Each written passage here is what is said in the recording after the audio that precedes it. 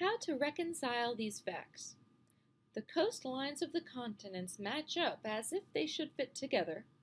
The geology of the continents contain perfect matches, such as the east coast of South America and west coast of Africa. Fossils show that the same plants and animals lived on land masses that are now too separate to travel between. Fossils show plants and animals living on land which is now too cold for them. Discuss. One theory proposed to explain this is known as continental drift. It was first presented by German scientist Alfred Wegener in 1912. He theorized that all of the continents were once connected in one large landmass, and that the land then drifted apart, forming the continents we see today. Scientists in the 1960s developed the theory of plate tectonics. This theory states that the Earth's surface is broken into large, rigid pieces called plates that move independently of each other. The plates consist of the upper mantle and crust, the lithosphere. They would float on the lower mantle. Although the plates are in constant motion, they move very slowly, about 3 to 5 centimeters per year. There are three types of boundaries between plates, or three ways that plates move with respect to each other. Divergent, where the plates spread apart, convergent, where the plates push together, and transform, where the plates slide past each other. Seafloor spreading is a result of divergent boundaries. As the plates separate, magma from below the surface emerges, flows onto the seafloor, and cools. This pushes the older oceanic crust away. New oceanic crust forms along a mid-ocean ridge, and older oceanic crust moves away from the ridge. Magma pushes up through the rift in the center of the mid-ocean ridges. As the magma cools and hardens, it retains traces of the Earth's magnetic field at that time.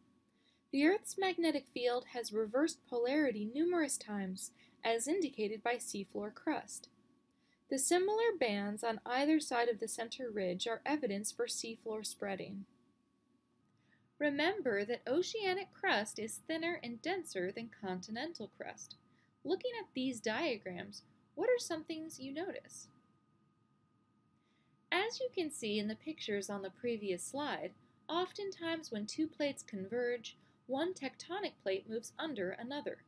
This process is known as subduction. Subduction happens when one of the plates involved is oceanic crust. Since this type of crust is denser, it sinks down into the mantle. As the oceanic crust sinks, it warms in the mantle and melts. Its density decreases and the melted material can rise to the surface as magma and form volcanoes. Subduction can occur when two pieces of oceanic crust that are both dense and both sink form a very deep trench. Subduction zones are also associated with earthquakes. There's a lot of friction as the plates are dragged past each other and the rubbing of the plates can cause the earth to shake. Subduction occurs along the edges of the plates surrounding the Pacific Ocean. This results in an area called the Ring of Fire because of all the volcanoes and earthquakes. A volcano is any spot on the Earth's surface where magma can flow out. Remember, magma is molten rock that is below the surface of the Earth. When magma gets to the surface, it is then referred to as lava. There are three main types of volcanoes described on the next page. A fourth place where volcanism occurs would be at the spreading center of a mid-ocean ridge. Hawaii is a special type of volcano called a hotspot. Most volcanism is associated with plate boundaries. Hawaii is unusual because it is an active volcano in the middle of a plate. Shield volcanoes are the largest volcanoes. They generally have slow eruptions of lava that cools, hardens, and builds up the volcano over time. They are gently sloping. Cinder cone volcanoes erupt very explosively because of gases trapped in the magma. They eject volcanic debris like ash and solidified lava. They are not very large because the explosion often destroys the volcano. Composite volcanoes, also called stratovolcanoes, will eject both lava and debris.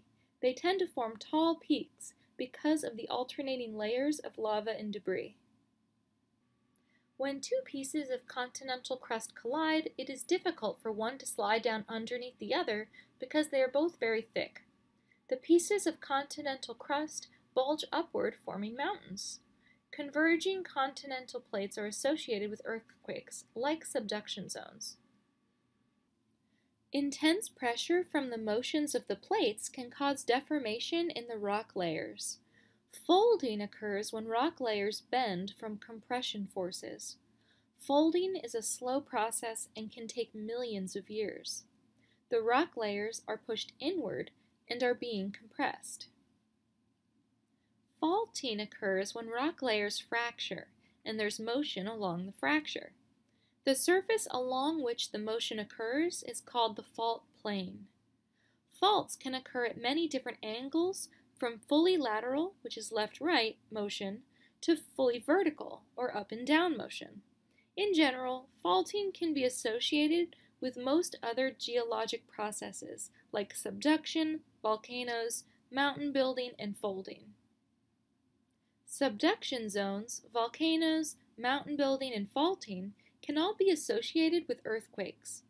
An earthquake occurs when pieces of the crust are under pressure and then suddenly slip past each other.